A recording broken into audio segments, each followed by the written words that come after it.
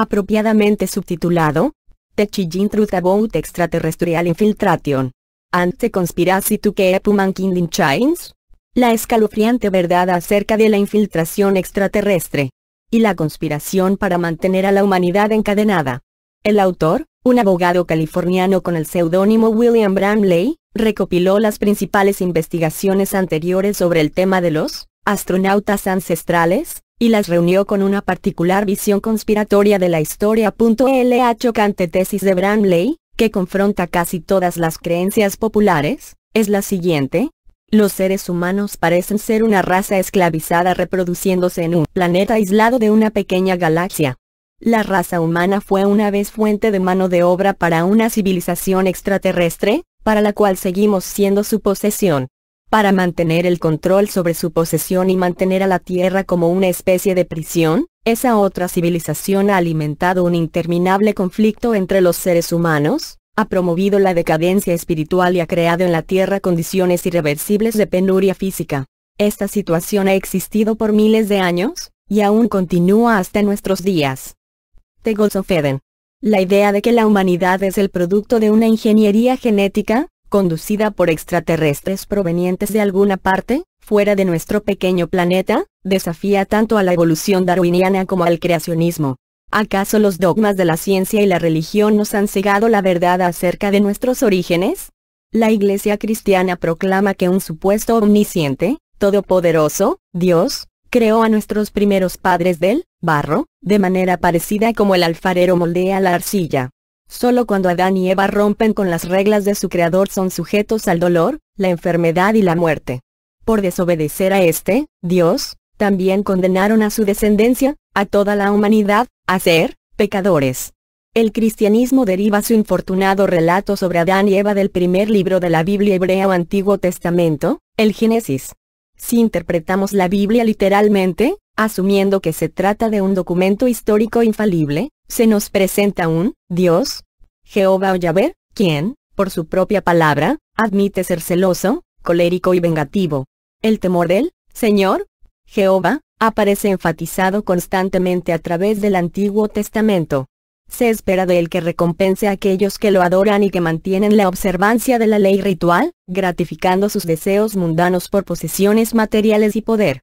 No se puede dejar de notar que este cruel, sanguinario y egoísta, Dios, se asemeja grandemente a los caprichosos dioses sumerios. De acuerdo al Génesis, este, Dios, demasiado humano, desconocía que sus apreciados humanos habían echado a perder su creación al comerla, fruta prohibida. Después de esto, habiendo expulsado a la primera pareja humana del paraíso, amenazó a sus descendientes con su cólera hasta el día en que ahogó al mundo entero con un diluvio.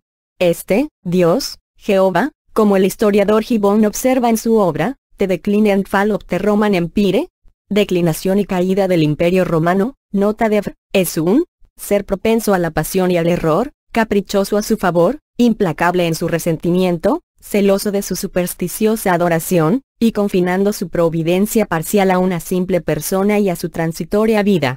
La investigación indica que la Biblia hebrea, lejos de ser un texto histórico infalible creado por un ser supremo, resulta ser una gran revisión compilada de por lo menos dos trabajos completamente separados.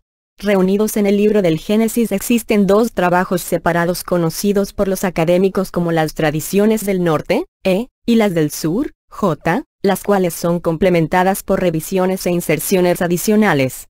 En la, E, que contiene los pasajes referentes a los Elohim, reside la tradición prejudaica de la gente del norte, quienes exaltaban al más elevado Dios, él, y a los subordinados Elohim.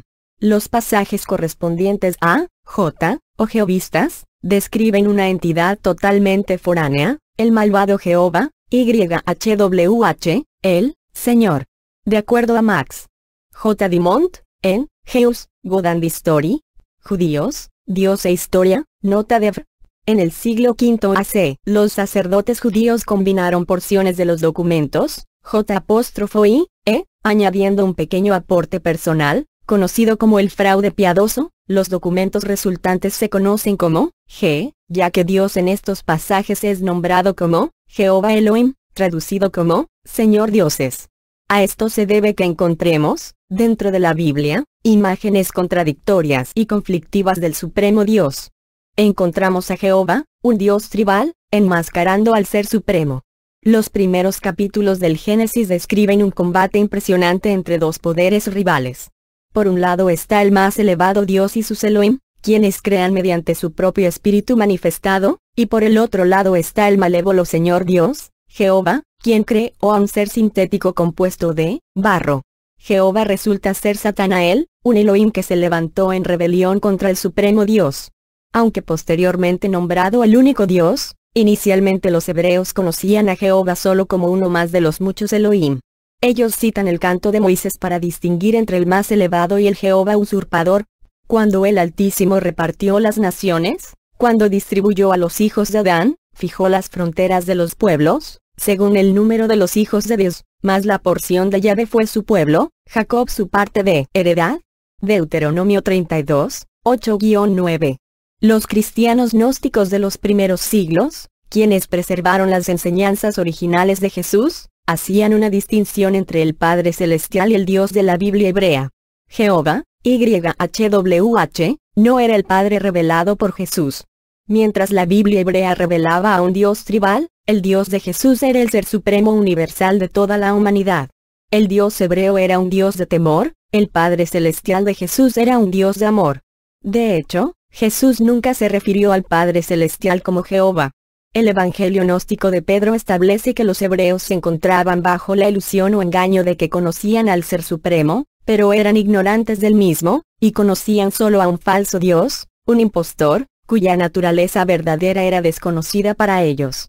Los gnósticos, basados en su profundo estudio del libro del Génesis, exponen a Jehová como Satanael el demiurgo, el poder creativo de este caído mundo material, que es hostil al Ser Supremo.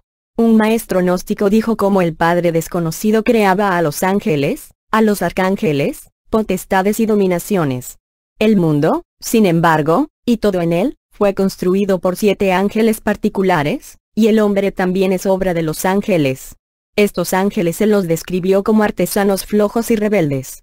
Saturninus, 90-150 DC, quien estableció una importante comunidad gnóstica en Siria, enseñó que el único Dios verdadero, el Padre Celestial revelado por Jesús, habita en el más elevado reino de la luz.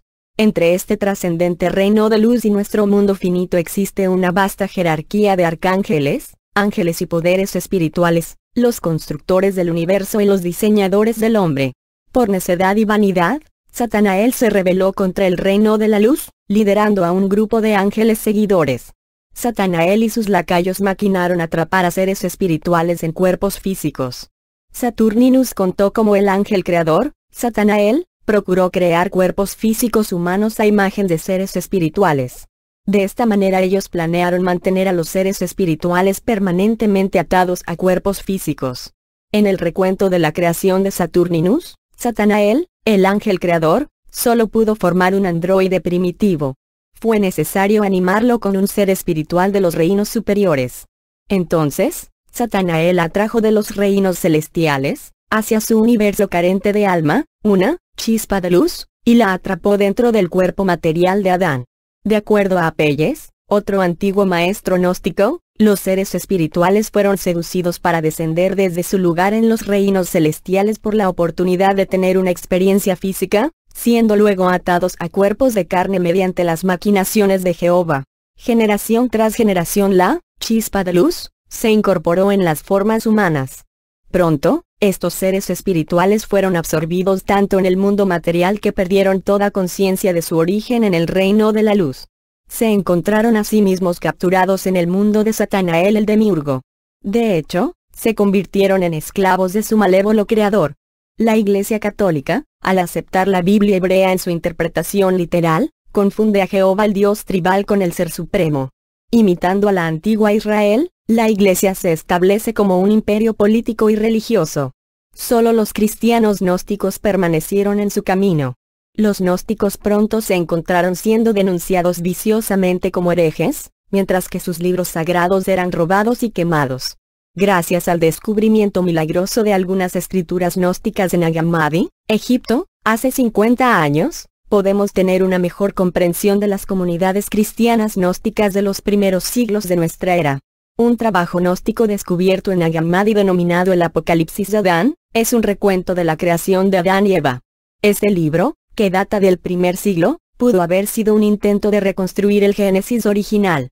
Dice que Adán declaró, Cuando Dios me creó de la tierra, junto con Eva tu madre, estaba con ella en la gloria, la cual ella había visto en el león de donde hemos venido, reino de la luz. Ella me enseñó una palabra de conocimiento del Dios eterno. Y nosotros nos asemejábamos a los grandes ángeles eternos, porque éramos más grandes que el Dios que nos había creado y que los poderes en él, a quien no conocemos. Entonces Dios, el demiurgo barra Satanael, el regente de los eones y de los poderes, en cólera nos dividió. Entonces nos convertimos en dos eones. Y la gloria en nuestros corazones nos abandonó. Después de aquellos días, el conocimiento eterno del Dios de la verdad, Padre Celestial, se retiró de mí de tu madre Eva. Desde ese momento aprendimos acerca de las cosas muertas, como el hombre. Entonces reconocimos al Dios, Demiurgo, quien nos había creado. Nosotros no le éramos extraños a sus poderes. Y le servimos él en temor y esclavitud. Los gnósticos entendieron que existen muchas órdenes diferentes de seres. Sus escritos refieren numerosas jerarquías de entidades espirituales, tanto de la luz como de la oscuridad. Estos seres no solo se mueven en frecuencias sutiles, sino que pueden tomar formas en la dimensión física. Como los decenios y Jesús, los gnósticos reconocían la habilidad de los ángeles, de poder corporificarse.